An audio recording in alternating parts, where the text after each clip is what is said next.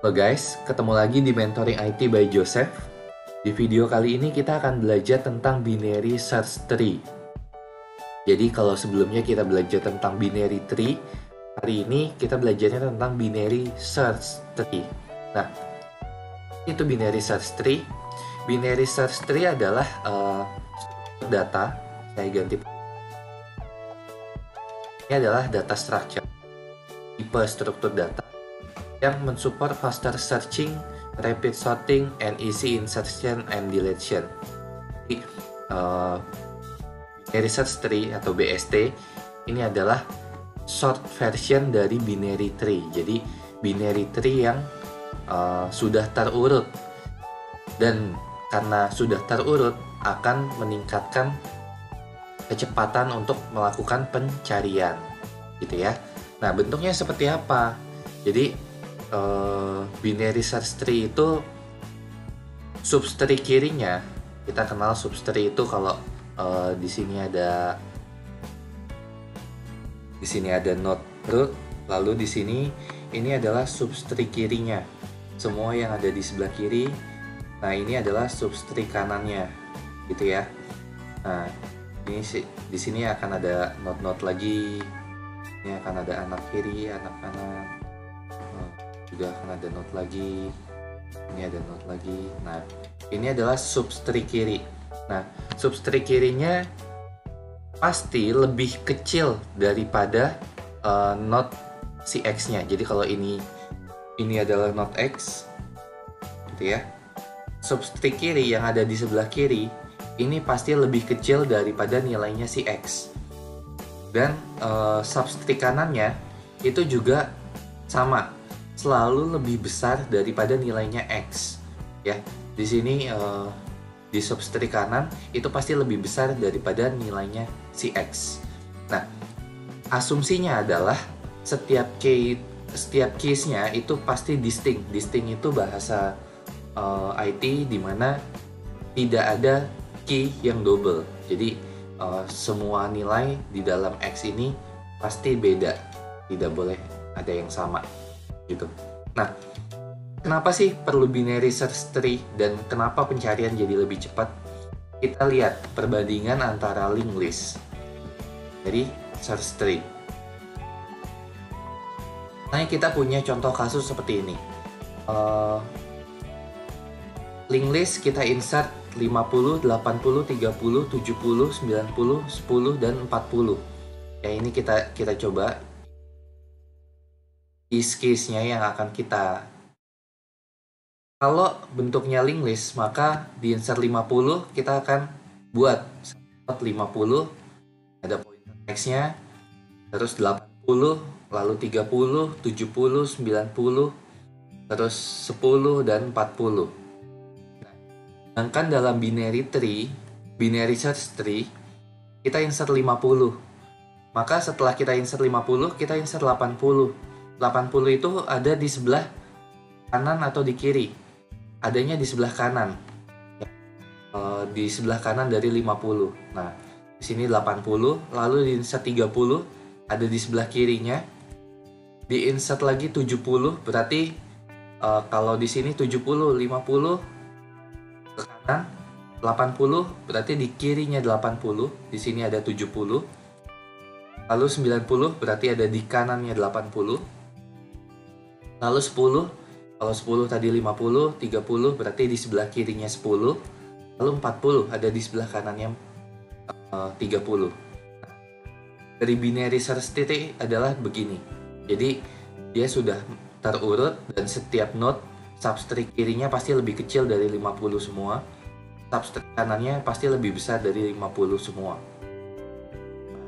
Kalau di 30 substrate kirinya 30 pasti lebih kecil dari 30 semua dan substrate kanannya 30 pasti lebih besar dari 30 semua ini berlaku rekursif sampai ke anak yang paling bawah atau yang kita sebut child nah gimana kalau kita mau melakukan pencarian angka 40 jadi 40 ini kita mau cari.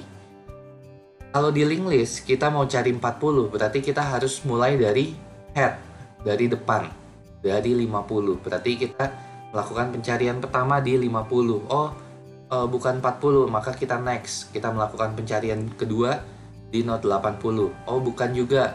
Next lagi uh, pencarian ketiga di note 30, bukan juga.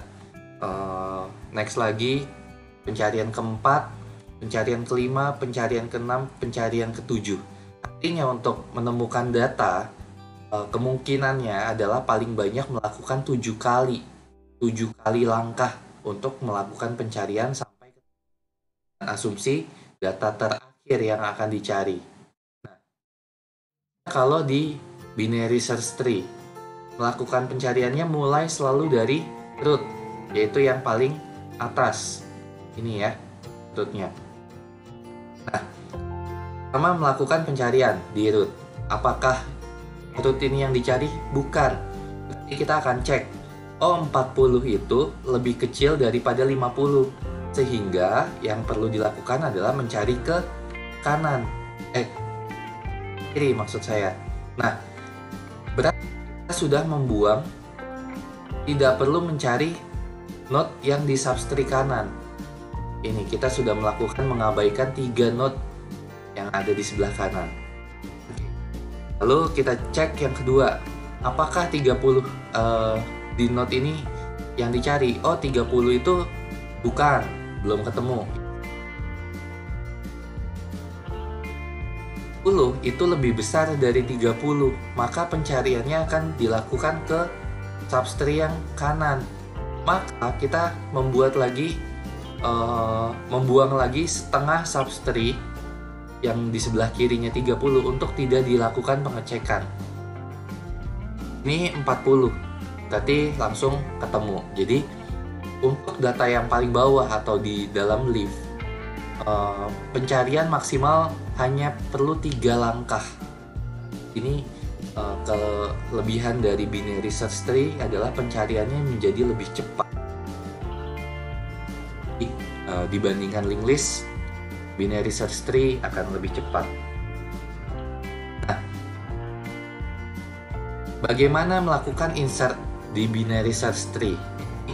Insert dari binary search tree dilakukan secara rekursif. Nah, lalu mulai dari root.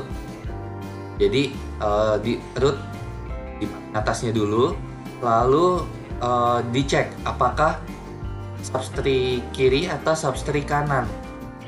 Jadi kalau rootnya udah ada, uh, kita langsung cek apakah dia seharusnya di kiri atau di kanan.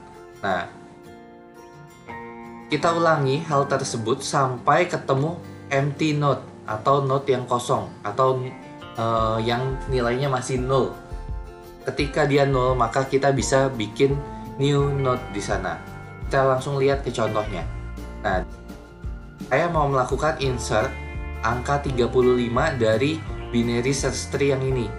Nah, kita mulai dari root 30 karena kita tahu oh 35 itu lebih besar dari 30 maka kita lakukan insert ke kanan. Karena uh, binary search tree yang lebih besar harus di kanan semua. Nah ini note yang kita kita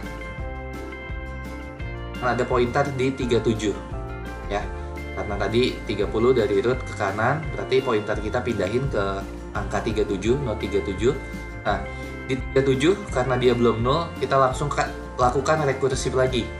Lakukan langkah kedua dicek apa dia ke kiri atau ke kanan. Karena 35 itu lebih kecil dari 37 maka ke substrate yang kiri di sini. Nah, lakukan lagi rekursif oh udah ada nilainya nih 32 maka dicek lagi. Oh 35 yang saya mau insert adalah lebih besar daripada 32 maka dia lakukan insert lagi ke substrate yang kanan. Nah, karena di sini masih nol, di sini masih nol, di uh, note yang ini masih nol, maka kita boleh bikin note baru untuk menginsert 35. Ini bisa diinsert ke sini. Jadinya seperti ini. Cukup mudah ya untuk melakukan insertnya. Kita tinggal perlu menentukan dia ke kiri atau ke kanan ketemu note yang kosong, kita boleh langsung lakukan insert di situ. Nah, yang kedua adalah delete-nya. Nah, di sini ada tiga kasus untuk uh, delete. Yang pertama adalah ketika dia leave, kalau daun, uh, kalau dia nggak punya anak, maka tinggal delete aja, ya, just delete the, that note. Tapi kalau dia punya satu orang anak, satu orang anak, maka connect uh, parent ke childnya. Jadi semua diwariskan ke anaknya. Sedangkan kalau dia punya dua orang anak, maka kita cari anak yang paling kanan dari substri yang kiri. Jadi kalau uh, kita punya node, lalu kita punya substri, di sini ada banyak substrinya, dia punya node lagi satu, dia punya anak kiri, uh, dia punya anak kanan. Nah, the most right childnya itu adalah, tuh kecoret. The most red childnya itu adalah yang ini ya. The most right child anak paling kanan di substri yang kiri ya. Kita langsung lihat contoh kasusnya seperti apa. Delete nah yang saya mau delete adalah note 21 21 ini adalah leave karena dia nggak punya anak lagi. Maka kita tinggal delete note-nya. Selesai. Contoh yang kedua adalah jika dia memiliki anak eh, kanan dan anak kiri. Jadi dia punya dua orang anak. Maka kita akan mencari saya ubah lagi pointernya menjadi harus mencari anak paling kanan dari substri yang kiri. Jadi kalau 37 yang di delete, maka anak kanan dari substri kirinya adalah 35 jadi ke kiri sekali lalu cari paling kanan. Ya ini ini contohnya kalau 37 berarti 35 kalau saya mau delete nya 30 kalau 30 yang saya delete maka substring kirinya kan yang ini nih. Substring kirinya adalah yang ini yang saya lingkarin nah anak paling kanannya yang mana? Berarti ke kiri sekali ke kanan ke kanan. Nah ini dia. Jadi anak kanan uh, the rightmost child itu adalah 28 kalau saya delete-nya 30 ya. Tapi untuk contoh kali ini saya mau delete-nya angka 37 berarti saya akan uh, menggunakan uh, 35 untuk child yang menggantikannya. Nah, 37 nilainya diubah menjadi 35 akan menjadi karena di sini udah 35, note 35 ini kita hapus. Nah, karena note 35 ini leave, kita pakai aturan yang pertama tadi. Nah, dia leave, berarti kita tinggal lakukan delete aja. Nah, selesai sampai situ. Oke. Nah, contoh yang ketiga adalah jika note ini hanya punya satu orang anak, ya, cuman punya satu Nah, di sini 35 saya mau delete. Nah, 5 hanya punya satu orang anak. Nah, ketika 35 di delete, maka kita delete dan uh, not childnya itu dihubungkan uh, dengan parentnya. Jadi ini langsung uh, anaknya terhubung seperti ini ya. Jadi bisa dibilang childnya si 45 akan menggantikan si parentnya, tapi bawa anaknya juga, bawa cucu-cucunya, bawa keturunannya semua. Ya lebih simpelnya adalah uh, not parent disamakan dengan not childnya. Oke jadinya seperti ini. Ini uh, adalah delete.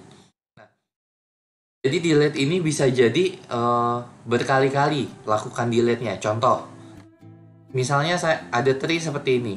Saya mau delete 30 maka the rightmost child-nya adalah ke kiri sekali terus ke kanan. Nah 26 nggak punya anak kanan lagi kan? Berarti 26 ini adalah anak yang paling besar. Anak kiri yang paling besar. Nah 26 akan menggantikan 30 berarti angka 30 di sini akan berubah menjadi 26 di sini akan berubah menjadi 26 dan kita mau mendelete 26 nya di sini karena 26 nya ini di sini mau di delete maka karena anaknya cuma satu maka 15 ini akan dibuat garis ke 19 nah, jadi parentnya langsung disambungkan ke childnya ini akan pindah ke 30 di sini. Ya, 30 di sini akan berubah menjadi 26. Oke. Nah, jadinya akan seperti ini. Jadi 19 akan, akan jadi anak kanannya 15 dan di rootnya akan menjadi 20. Di hari ini tentang binary search tree ini adalah referensi yang saya gunakan untuk membuat slide ini. Dan sampai sini dulu video kali ini. Kalau kalian ada pertanyaan. Eh, bye.